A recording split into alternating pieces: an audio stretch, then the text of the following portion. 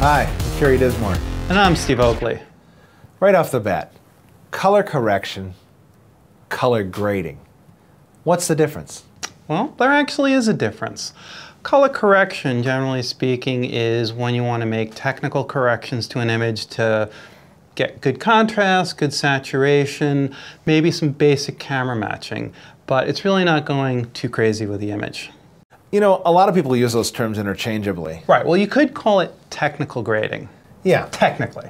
But I think for purposes of this discussion, color correction will be just that neutralizing a shot, evening out differences Right. between cameras, fixing technical issues, getting the contrast where it needs to be, basically getting a shot neutral. Now, color grading, that's where the art comes in. That's where you're trying to create kind of a mood or a feeling or make something warm and fuzzy or cold and gritty or whatever by deliberately affecting the color in a way that's maybe not quite so neutral. And then, of course, we've got that in between area where you're doing a sort of technical, sort of artistic grade. For example, you've got an interior with a blue window, and you say, I, I don't like the blue. Let's make that color warm again so that it matches the rest of the shot. So being able to selectively just grade that portion of the frame. It's artistic, but it's also technical. Yeah. And also, you know, if you're shooting in a raw format, trying to recover your highlights to get more dynamic range in the picture. That's huge. That's And why technical, I love but- grading raw. You know, it's also an artistic thing because we've seen certain movies like Shot on Red that are very contrasty in their look, yet we know that camera has incredible latitude. Oh yeah, it's recording raw. So there's a lot, a little bit of mix in here, but that, by and large, is artistic color grading where you're setting the look. So tools. I mean, my nonlinear editor has lots of color correction and color grading tools within it. And then I can move up to third-party plugins like Colorista or Magic Bullet Looks that give me more powerful capabilities. And Resolve is a dedicated color grading application. Now, where and why and when would I want to use these different approaches? Well, that's a great question. Thank you. Um, it has to do with workflow, it has to do with speed, it has to do with really the grand context of the work you're doing.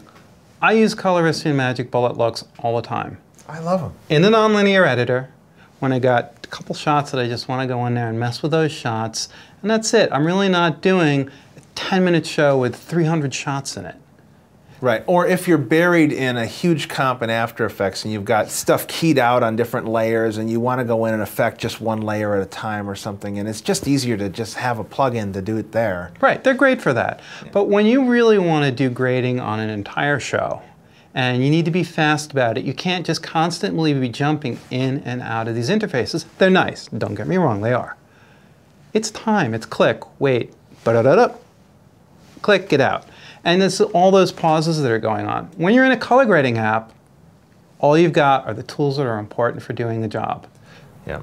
They're either directly in front of you or they're about one click away. Right. There's something about that focus that it provides just on creating that, that grade or that look or finishing that program.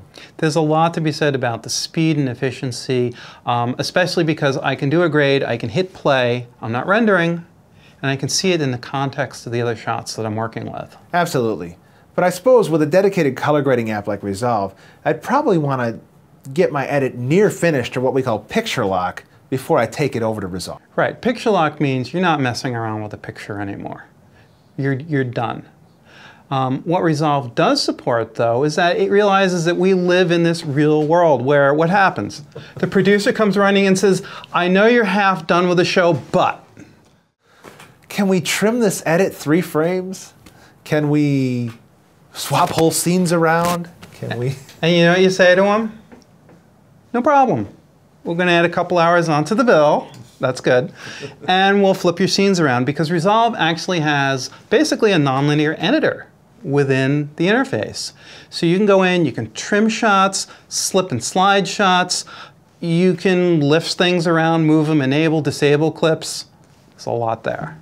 Yeah, but there One are but. some limitations. There's one but.